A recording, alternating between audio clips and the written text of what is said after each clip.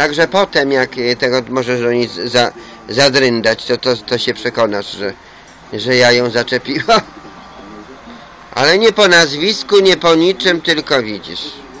Ona s- s- sobie kojarzy ciebie, no, że ty tu gdzieś przebywasz. Ja mówię, że Litka śpi. Także ta pani Krysia, to ona by tak was chciała wami pomiatać. I tak ja to nie rozumiem tych katoliczek, że one takie jakieś zamiast kajać się przed Panem Bogiem, to one takie, takie ważne, te katoliczki kopyta, wiesz, idzie na, po ulicy baba i kopyta albo facet trzyma w kieszeniach i tak szpanuje, takie to ważne, jeszcze podkreśla to papierosem, że kopci, wiesz, papierosem.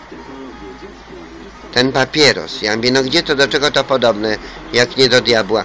Prawosławni takich rzeczy nie robią, świadkowie Jehowy też nie. Oto świadkowie Jehowy przede wszystkim nie palą papierosów, bo nawet niekoniecznie dlatego, że to jest niezdrowe, ale głupota jakaś, no. Nawet dziecku daj cukierka kup, a nie to gówno sobie życie skracasz.